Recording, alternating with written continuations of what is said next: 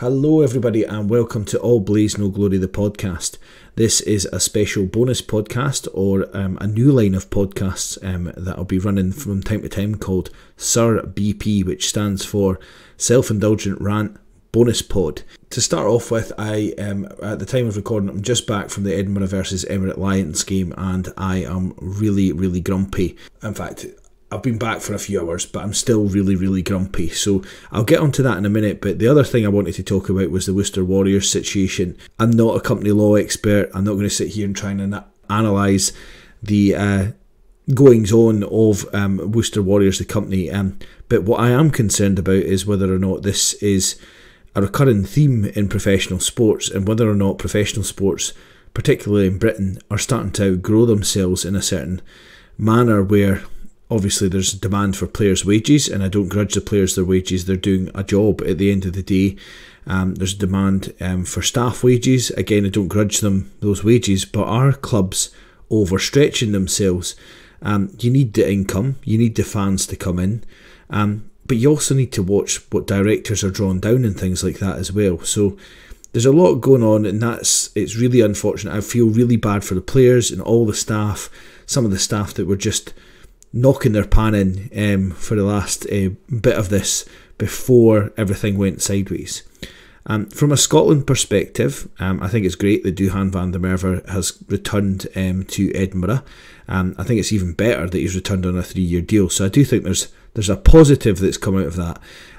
What I'm more concerned about um, is not Rory Sutherland. He's I think off to Ulster now um, at the time of recording, and I'm not worried about him having um, further offers. He's a British and Irish Lions. That's going to give him some credit in the bank. Um, he's a very good, well known um, loose head prop, and I think ultimately he may end end up going for a paycheck in France if he doesn't return to Scotland after his Ulster contract. What I'm more concerned about is two guys who are maybe on the fringes. One who's not been capped, and one who's got I think three caps. Um, starting off with Murray McCallum, the SRU first response after, okay, fair enough, getting Duhan, he's a big name, um, signing all that, should have been to get Murray McCallum home, either to Glasgow or to Edinburgh. Um, I think probably uh, Glasgow might be the better fit for him. Um, just certainly, Glasgow fans think he's the better fit for them. Um, he's a good, hard-working player. Uh, he can play loose head and tight head. I would say both equally well. Um, which is a rare thing nowadays in the professional game. But with a World Cup coming up, it might be a good idea to get him back up, get him some playing time, see if we can get him fit, and see if he is an option um, for the World Cup. Because last World Cup, we took Simon Berghan um, and sort of pretended that he knew how to play loose head um, when sometimes, even as a specialist tight head, he struggles to do that. Uh, Murray McCallum, on the other hand, um, coming through when he was young for Edinburgh, and I remember him back in the old black and red days of Edinburgh, um, wore the number one shirt in my mind almost as much as he wore the number three shirt. So I think he's an ideal candidate um, to return um, to Scotland, and I don't know why it's not happened yet. And I am worried for him because he's not a big name in terms of sort of wider recognition. Um, it's something that die-hard Scot- Scottish fan ultras know about, but he's not someone that is going to catch the eye maybe of a French club, except maybe a D2 club. And I think that would be bad for him. I think at this stage of his career, I would prefer him to be in Scotland. Um, I know he's got a family and things as well now, so um, you know maybe moving about is not the best thing for him. So hopefully, um, the SRU will have been in touch with him, and it's maybe just a case of getting everything in place. And whether it's Glasgow or Edinburgh, it doesn't really matter. Get him home, get him back to Scotland if you can. Um, the other boy is Fin Smith. Uh, now, I've not seen a lot of Fin Smith play because, to be honest with you, I don't watch a lot of the Premier, uh, the Gallagher Premiership. Um, and normally uh, on BT Sports, they don't show a lot of Worcester anyway. Um, and I don't go out my way to watch Premiership club uh, cup games or anything like that. So I don't know a lot about him, but everything I've heard about him is positive. And whilst we've got Finn Russell, who's arguably one of the best tens in the world, um, he is, um, to my mind, um, somebody um, who is not coming to the end of their career, but is certainly um, he might get one more World Cup cycle. Um, but you'll be really, really old. Um, Johnny Sexton old. And I'm not sure whether Finn's style of play will still be able to work when he's Johnny Sexton old. So we do need to look to the future a bit. We've had the Blair Kinghorn thing, and I know Scotland fans hate it. He's doing okay. Um, we've got Savala, who, um, if you follow me on Twitter, you'll know uh, I am really high on. Um, and we've got Ross Thompson, um, as well as uh, Adam Hastings. Now, Hastings seems to have fallen out of favour for whatever reason. Um, we're now taking to playing games outside the international window. Um, so we need to have decent tens available on our doorstep. Now, I heard um, on the Scottish Rugby podcast that there's a possibility that Finn Russell might consider moving back to Scotland after his French deal's up because, um, you know, he uh, has a family now and maybe he'll want to move back to Scotland. That being said, he seems to be getting on well in France, and there was talks that now that he's speaking to the coaches in Racing, um, he's getting more rest and he's a lot happier and he's the fittest he's ever been. So, to my mind, he he's no guarantee to come back to Scotland anyway. So again, SRU, get your paper check out, take some of it out of Dodson's wages, and try and get Fin Smith up here, even if it's for a year. If I mean, at the end of the day, the international game now has become about trapping players as much as it's become about actually winning things, um, particularly for Scotland, who um, have low player pools and the pathways seem to be clogged up, and there's less clubs um, putting out twos and things like that, so there's less development. Um, get Fin Smith up here, get him up here soon.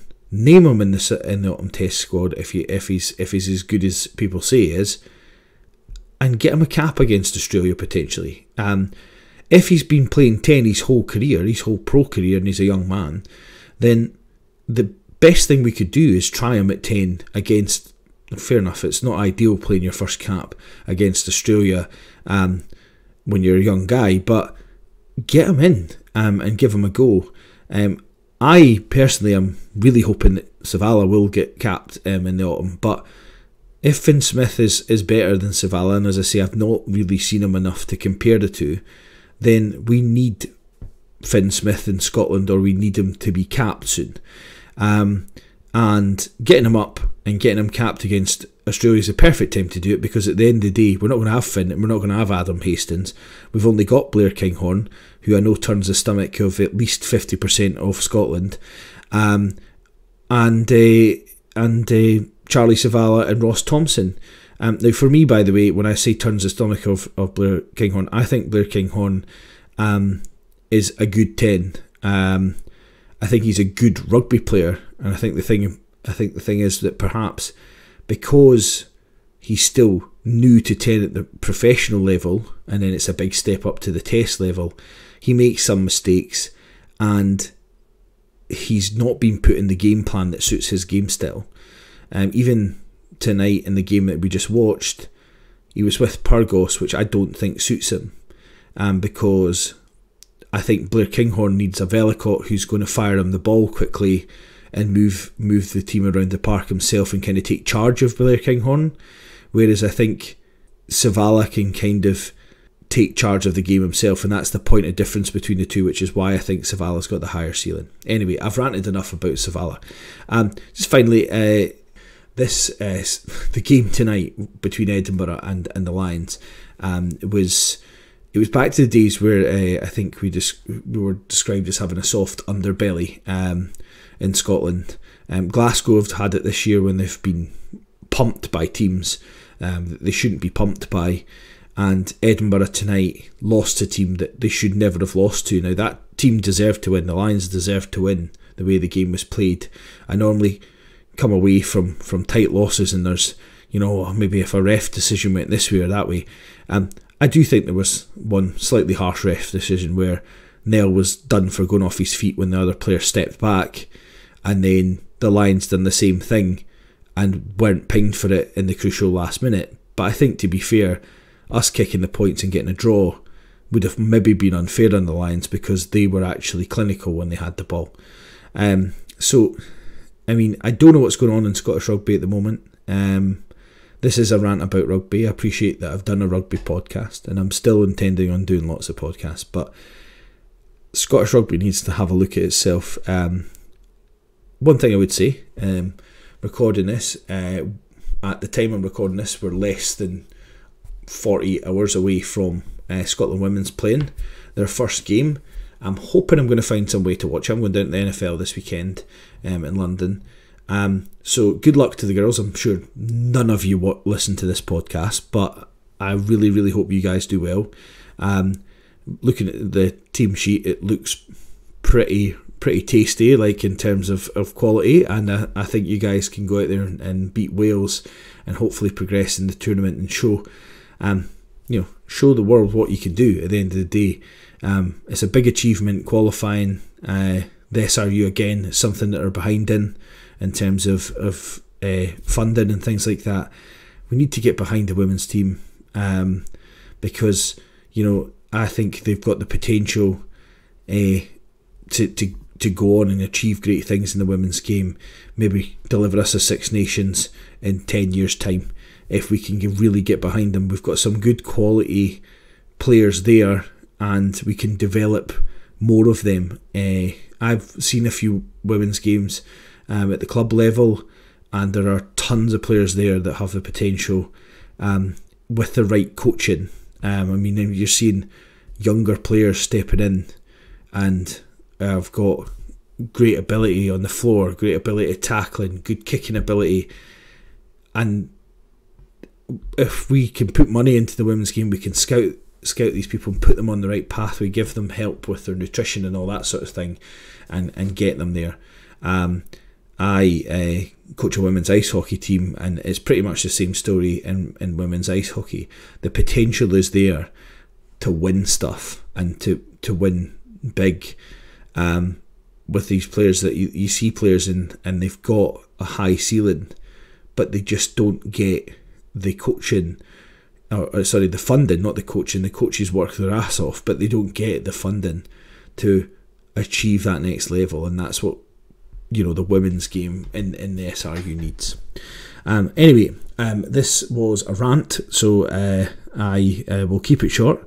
Um, thanks if you listened. Um, equally, if you sh- have shut off by now, that's fine as well. It'll count as a listen. Um, I'm going to be releasing a podcast next week, just sort of reviewing my couple of weekends away um, to Tottenham um, to to see the NFL, including a, a short review on um, going to visit Leyton Orient as part of the list. Um, I'll probably release a um, written piece on on that.